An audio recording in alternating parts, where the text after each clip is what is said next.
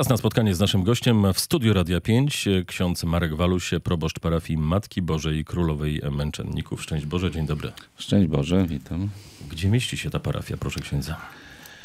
Y, Obecnie mieści się działka parafialna, znajduje się przy ulicy Utrata, w sąsiedztwie ulicy Aleksandry Piłsudskiej. Lokalizujemy między sportową a utratą. O tak. Tak optycznie. To jest tak na pograniczu osiedla Sobola Biel. Pytanie od mieszkańców. Po co kolejny kościół w Suwałkach? No z tej racji, że Suwałki się rozwijają, jest, jest mm, coraz więcej jest mieszkańców y, Suwałk, a założeniem jest, y, parafii jest budowanie wspólnoty. A wspólnotę zbudować można, czym jest y, taką rodzinę. Jest możliwość, jeżeli rzeczywiście ma ona, powiedzmy, nie za duże rozmiary. Wtedy ta wspólnota jest, rzeczywiście czuje się rodziną. I o to chodzi w parafii, żeby była taka rodzina, która gromadzi się wspólnie na modlitwie, wspólnie przeżywa życie, dzieli się tym życiem. To będzie duży kościół? Nie, to nie ma, nie ma takiej potrzeby, żeby to był duży kościół. To taki, który na, przewidujemy na nasze możliwości i na potrzeby mieszczący powiedzmy 200 miejsc siedzących, możliwości usiedzenia. Jest również planowana kaplica, yy, która również kilkadziesiąt miejsc tam będzie siedzących.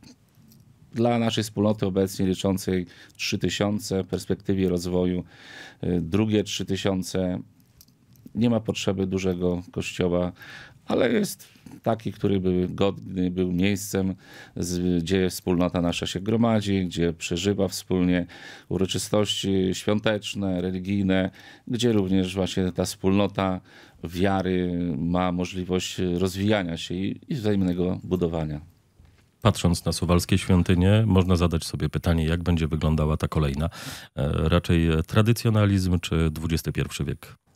Będzie tradycyjny kościół. Teraz jesteśmy na etapie jeszcze zatwierdzania tego projektu, ale jesteśmy za tradycją z troszeczkę z domieszką takiej nowoczesności, czyli współczesnych, współczesnej architektury, ale głównie nacisk na tradycję, tradycyjne budowanie kościołów, które, które, które no, nawiązują do, do tego, co, one, co tam się dzieje, czyli nawiązują do tego życia religijnego, do tradycji kościoła bardzo bogatej, by w tym kościele wspólnota, która się gromadzi, również czuła się właśnie, czuła tego ducha modlitwy, ducha wspólnoty, gdzie można rzeczywiście wchodząc, y, czujemy tą bliskość Boga, czujemy tą bliskość ludzi y, wierzących, y, no i wspólnie możemy się, to jest takie miejsce, gdzie można i powinno nastrajać do modlitwy. Wróćmy e, do tych e, wspomnianych już e, wizyt duszpasterskich. Wsparcie tej wspólnoty, powiedział ksiądz, że dało się odczuć. Tak, y, miałem możliwość rozma rozmawiania z, z, każdą rodziną, z parafianami, którzy tworzą właśnie tę nową wspólnotę. Rozmawialiśmy o nadziejach związanych właśnie z, z powstaniem tej nowej parafii o niepewnościach, o pewnych powiedzmy trudach, które czekają nas, które musimy ponieść. No i wiele pytań takich y, jak, co, no i dlaczego. Jest mnóstwo takich pytań, niepewności. A kiedy są niepewności, to człowieku rodzi się pewien strach, lęk, obawy, jak to wszystko y, będzie, co, jak to będzie wyglądało. Ja to zawsze powtarzałem i powtarzać będę, że nasza patronka naszej parafii, Matka Boża Królowa Męczników, to jest taka szczególna patronka. Ten tytuł mówi nam o tym, że właśnie Matka Boża czuwa nad nami i tak jak widziała trud, zakłopotanie na twarzach nowożeńców w Kanie Galejskiej, kiedy, kiedy no, mieli się radować młodzi ludzie, a tu nagle no właśnie, Matka Boża widzi na twarzach zakłopotanie młodych. Od razu interweniuje, prosi syna. I tak samo również, czyż nie będzie i nie widzi naszego takiego zakłopotania, e, takiego pytań, niepewności nas, nową wspólnotę, która tworzy się. Na pewno zobaczy nasze te, te, te pytania, te, te niepewności, te lęki, strachy, obawy i na pewno przyjdzie nam z pomocą, na pewno to wezwie i poprosi swojego syna, tak jak poprosiła w Kanie Galejskiej, żeby pomógł żeby ten smutek, te niepewności, te właśnie pytania, y, żeby y, no właśnie dać pewne to, ile potrzeba odpowiedzi. W kazaniach wielkanocnych księża bardzo często używają e, słowa fundament. Fundament, odrodzenie, e, ta podstawa, e, fundament w ludziach ksiądz ma, kiedy ten fundament e, fizyczny, no i kiedy poświęcenie ziemi e, pod budowę kościoła. Tak, y, ważny jest fundament, ważny jest początek. y, Jest już działka parafialna pod ten kościół 3 maja o godzinie 12. Przybędzie ksiądz biskup Jerzy Mazo, biskup Ełcki. y, Będzie poświęcenie tej działki. Postawimy krzyż na tej działce. Będzie sprawowana msza święta. Zgromadzą się właśnie też księża tutaj z, z miasta Suwał, księże proboszczowie i nie tylko. Też y, są zaproszeni parafianie, ale również y, parafianie z wszystkich parafii Suwok. Dlatego serdecznie zapraszam wszystkich do wspólnej modlitwy.